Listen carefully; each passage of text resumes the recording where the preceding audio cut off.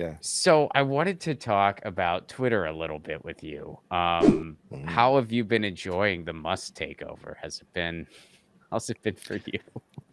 I mean, I, I, lo- I mean, look, I love it, but uh, it's it's bad. It's bad for a lot of groups. You know, there's a lot of there's long COVID groups that really get all their information and they communicate on on Twitter, and there's you know there's marginalized groups that really use Twitter. So to say that first of all, but I, it really exposes the the super rich for what they are, which are are just bully knucklehead idiots. Like they're just Mhm. they they got what they got because they had a bunch of money, and it doesn't actually. It, you don't need to be really smart once you have a bunch of cash. You know, he sues people like crazy. He's a bully. Uh, he he he brutalizes workers. Like this is who he is, and so now he's showing who he is, and everyone's like, "Oh, that's not great." I'm loving the thing. The greatest thing about it is just watching the Tesla stock price just plummet, just absolutely plummet, because he's he's coming up against a very tough time when all the other car companies come out with EVs, and he's doing this at the worst possible time. It's, it's Mhm. exactly what he shouldn't be doing. He should really be, you know, kissing kissing the ass of his of his base, which are liberal liberals in the suburbs buying his cars. Right, right, right, And right. now he's pissing them all off on Twitter every day. Uh, Like, there's nothing more you could do to upset liberals in the suburbs than to bring Trump back on to Twitter and give him a voice again. Like they're they're all going to be furious with you, and they're driving your car. And the next time they'll go, what other EVs are out there? It's really, it's really, it's kind of weird because every time I turn on Twitter, it's you know they have the what's happening little panel and a lot of the times it's just right wing there's like two things trending that are just right wing. Today uh, yeah mrna that's still trending. And that's not what's great about our vaccines it's saving tons of lives that's all these idiots just putting out lies because they can now because no one's going to stop them and so it's just it's just a, a I went through it and I was like, this is just all garbage. Yeah, I mean, I've noticed that the the like what's trending panel, and I think it like it's supposed to be unique to the user, but I've noticed that like my panel is like not as useful to me as it Yeah. used to be. It used No, to yeah.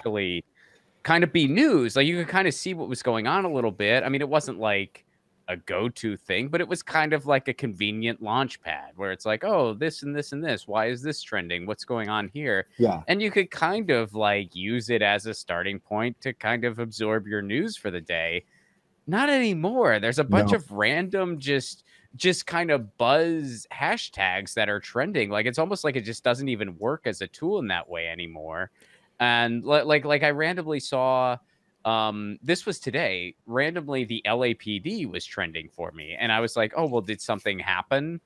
And it I wasn't it was right just it- yeah like like it was just a random trend though like there wasn't anything super particular other than i guess just oh they're trying to give themselves more money. But there were just a bunch of unrelated tweets in like a series like it wasn't like oh this is the topic. Well, So what I've like, okay.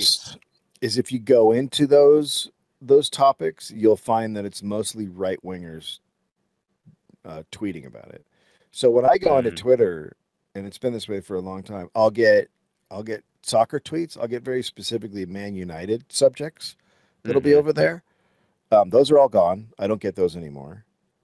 Um, I have one soccer in all my things. I have one soccer thing, which is really weird because it's usually it's been it's been a lot. And then it's like mRNA, LAPD, the IRS, uh, Coinbase, boycott Tampax, which is a right wing thing now because they have an ad with a trans person in it, and so the right wing's like, "What is Tampax doing?" It's like, okay uh, so so I, Keep it- di- I didn't even know about that that's Yeah, because I I'm I'm interested to see what the right wing is doing, and so I go in and look. I'm like, oh, so you're all screaming about Tampax right now. That would never before have been in my my thing. So he's they're specifically putting up right wing. It's it they're driving the whole site to be a right wing garbage festival, and it's good. Mm. People like us, we're just gonna be like, eh, I don't want to go there anymore because it'll just be, it'll be like being on one of their little offshoot social media sites. That's what Right, he's doing well, to it. He's That's what he's just, doing. Yeah. But now he has to answer to the advertisers because people are leaving Twitter. And Mhm. guess what? Advertisers, they, they don't really give a hoot what people are talking about. They just want people to advertise to. So, like, if a bunch It's of users even- are going to bail, You know what? It's not even that people are leaving. Um, they are the reason that the free speech fight happens, which is basically them banning people on Twitter, is because advertisers are like, I actually don't want Cheez Its to be right above what's up with the Jews. I actually don't want to get a Right. screenshot of, of Kanye saying something about the Jews next to Cheez Its. People take that screenshot and they send it to the company and they go, What are you doing? So they they literally don't want their name next to terrible stuff, which is what happens in these Right. ads. The tweet above yours is some guy saying something terrible about trans people, and then your product Ford. Well, they don't want that, so that's why they're all bailing because Mhm. it's it's a bad thing. So, because people, the number of users isn't going down because of the World Cup and because everyone was interested in what Elon is doing. Like it's a, it's a it's a train fire. Like you're watching it and you're just like, wow. So all these advertisers have left already, and now we're getting these terrible ads. Like I get the one I pointed out the other day was um, a a walking stick that turns into a baton um, to hit people with, which is illegal in California, but you can buy it because they sell it as a walking stick, but it's a weapon.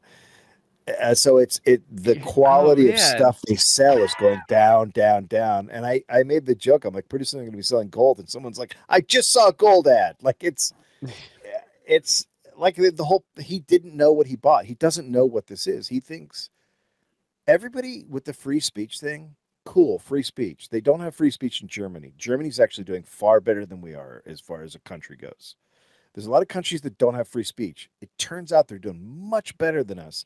So you kind of have to you kind of if you're a free speech absolutist you kind of have to explain to me why that works and and we're in such a terrible condition and they're not but the bigger thing is if you're a free speech absolutist now twitter doesn't exist in germany in japan and the Netherlands and France because they don't allow you to say all the stuff about Jewish people and trans people and everything else.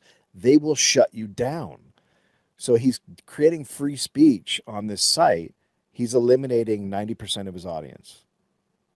Yeah, I mean, well, he actually isn't too because he like he'll like ban people for making fun of him and stuff like that. But like, yeah, no, he's a bullshit free speecher. He's the classic Right. victim right wing guy. But he is he is allowing people like Kanye and although Trump isn't coming back, but Trump and Jordan Peterson and people have been banned for saying really terrible stuff. They're not they they have laws against this in Europe. Specific Mhm. laws and regulations.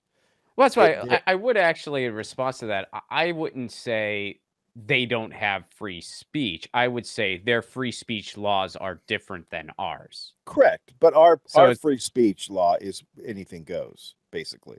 There's a few a couple things here and there. Well, yeah, Well, I mean, we shouldn't. I agree with. I agree with not allowing Nazis to have a microphone. I don't think it does any good because their whole thing is to use free speech to kill free speech. So you're Mhm. allowing someone to use free speech to kill it, and I think that's a bad idea. Well, we have law. I mean, you can incite violence, so it's like I mean, we do have free speech laws. I mean, I, I I mean that's a it'd be a pretty heavy uh, lift to say, well, who has the best free speech laws? I, I just wouldn't. I wouldn't put it like, oh, they don't have free speech. Their laws are just different. I'm than not ours saying they don't have free speech, but they don't have ours. Is ours is slander, slander away. Uh, make up all the lies you want. There's they don't they don't allow that in a lot of countries. So Mhm. it gets very, very complicated for these people to propagate their garbage. And they learned that because they had this thing, um, it was called World War II. And they Heard of it. actually uh, they underwent what the Nazis did with free speech and using speech, and they decided to alter their laws based on that. Mhm. Um, so that's you know, I guess at some point you have to have a genocide, and then you go, oh, wow, my God, we got to change things. But he, whatever you think of free speech, and you can hate my argument, That's totally fine. Uh, it doesn't take away from the fact that Elon Musk is an absolute idiot because he is going to get Twitter killed in all of those places. Mm-hmm. No, no, no. It, I'm, I'm with you, and, and I I don't hate your argument. I, I just like when I hear um, those buzzwords being thrown around, not by you because you actually know that there are laws around this stuff, but sometimes when people say things like "I'm a free speech absolutist," it's like, well, what does that mean? Because you're saying that, like in your mind, you think that that means I can say whatever I want, and there's no such thing as any consequence. Right. That's not what free speech is. We have no. laws where there there are certain things that are not protected. Uh, obscenity is not protected. What determines obscenity? Well, that's complicated, but you know there are laws around it. You can't a judge. You can't defame somebody. There are consequences if you're found guilty of defamation. Now, uh, Alex Jones just found that out. You can't incite violence. So it's like you hear a lot of these people using these buzz- buzzwords where it's like they have no idea what that actually means. Well, and, and, Elon Musk is an, an example of somebody who has money and is demonstrating yeah. he doesn't know what. Yeah, he, that he's he's actually really dumb when it comes to this stuff. It's also like it, this is Twitter. It's not. There's no free speech world here. It's a private company. Like I know, I know people always get mad at, at you know we've we've seen YouTube shut down a ton of, a ton of leftists and rightists. Mm-hmm. Like that's what they do. And I the argument that they're that the argument was always like, well, if they shut down the right, they'll shut down the left. No, what happens always is a war happens and they shut down the left. That's all of American history. A war happens and the left gets crushed. Mm-hmm. That's what they do. They shut down every mode of communication you have. So it, it has nothing to do with what they do to the right. But the problem isn't that YouTube is censoring people. The problem is that there's only YouTube. Right. And that's oh, that's the government. That, so so they're private companies. They get to do what they want. Like Twitter gets to yeah. go and shut down whatever they want, and then we all get to decide if we want to use it. Like that's that's yeah, how it but, works. But what sucks is that they're also monopolies. Like yeah, the thing. Like, like they're also the only game in town. So it's like, well, shit. this is. Not... I mean, the problem the problem with Twitter is though it isn't a monopoly. It's just better than all the other ones because you've I'm sure you've checked yeah. out Mastodon and and the Hive, and they have these other ones, and they're not as good, and they also haven't it's a very comp- complicated, dude. Yeah, it is. I'm having a hard time. I use it, but I'm I don't quite know what I'm doing. I'm, I haven't I, gotten I'm, on Hive yet. Are you on Hive? No, I no, I haven't gone over there yet.